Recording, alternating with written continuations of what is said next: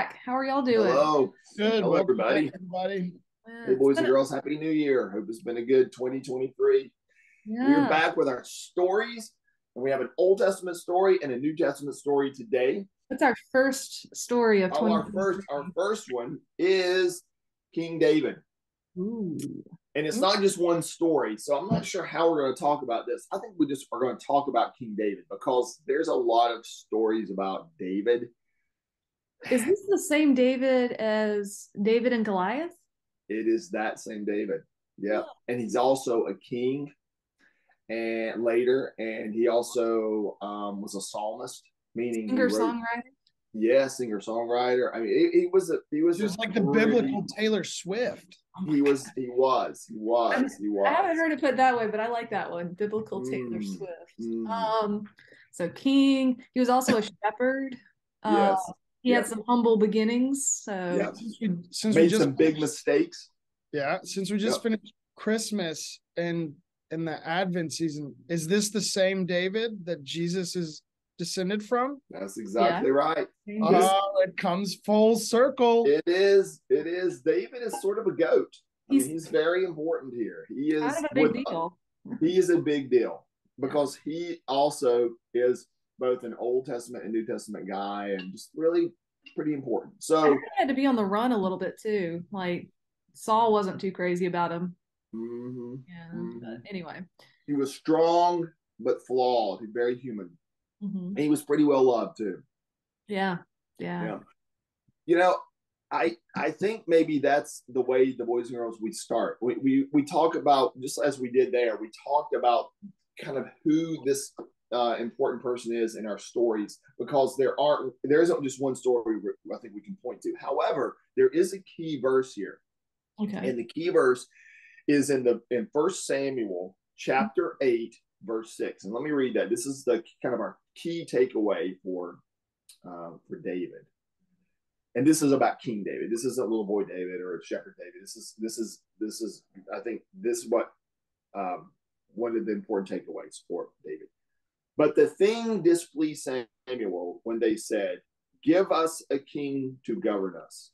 Samuel prayed to the Lord, and the Lord said to Samuel, "Listen to the voice of the people and all that they say to you, for they have not rejected you, but they have rejected me from being king over them." Mm. So give us a king to govern us. That's probably the the, the takeaway. Give us a king to govern us, Yeah.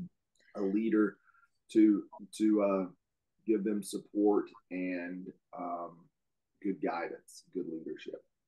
I think one of the things about kind of tying into that um, is that David ended up carrying out some unexpected callings in his life. Um, I don't think he planned on, and I don't think his family planned on him going from a shepherd boy to being king of all the people. But he answered a pretty unexpected calling in his life. Um, a lot of the things he did were unexpected. Um, he was called on to fight this giant Philistine, Goliath, who was feared by a lot of people, and he was just a boy. Um, but he did it. And so I think that's another theme in David's life is that he answered a lot of unexpected callings from God. And that could be something a takeaway for our boys and girls is that they may be called on to answer some unexpected callings in their lives, just like King David did. And they do so with the spirit of courage, even if they're terrified. Yeah. yeah. Uh, well, that's a good start for David. There's a lot more to say about David, but I think that's a good one for the boys. Our New Testament story is also it's a parable, but it's it's actually multiple parables. But we're just going to talk about two of them today. It's about parables of lost and found. What's a parable?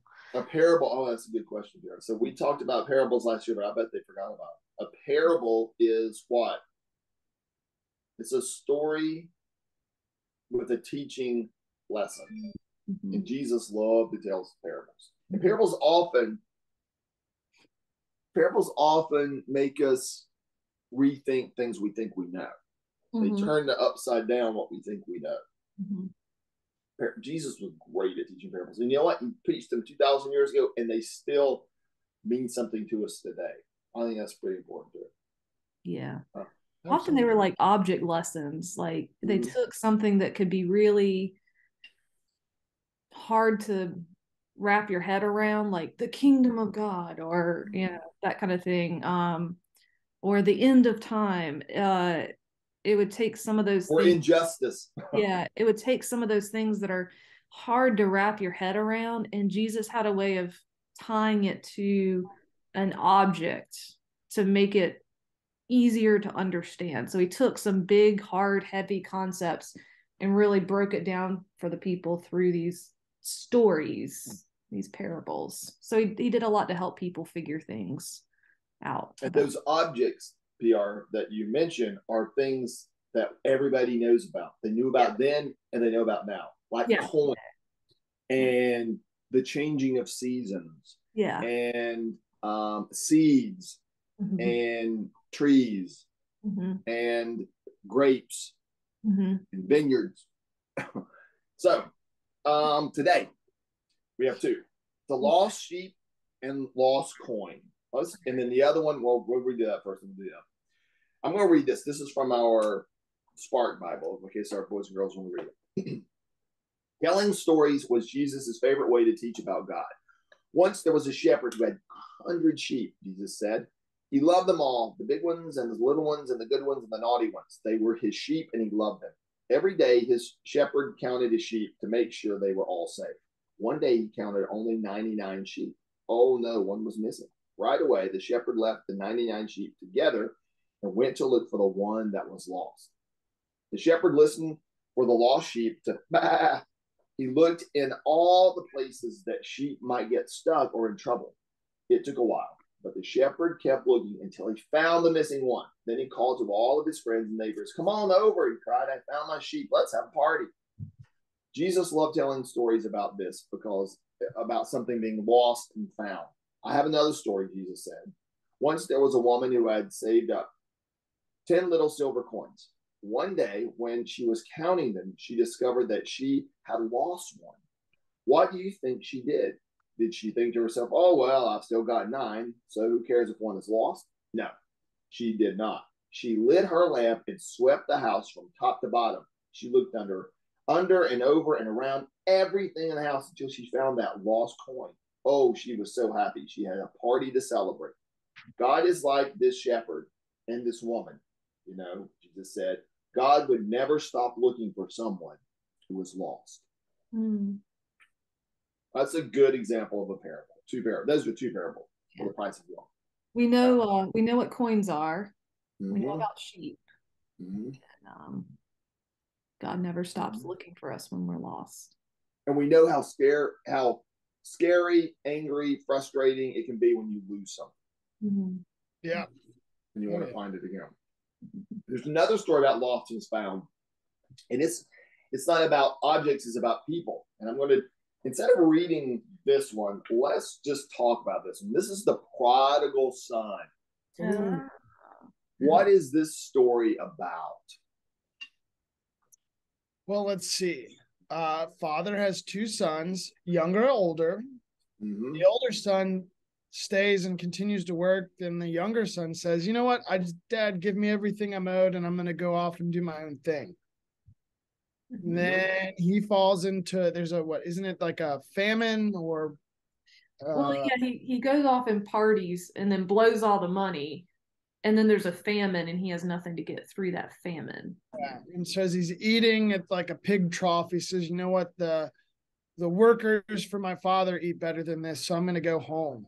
And then he goes home, and the father greets him, and they slaughter the fattened calf because you know the son's back, and the older brother gets wind and is, you know, pretty upset uh, and hurt by it because he doesn't have the same, and he thinks his, you know, confronts his father, who says, the end of the day, everything I have is yours, but your your brother who was dead is back, who was lost is found. Mhm. Yes, We celebrate. absolutely.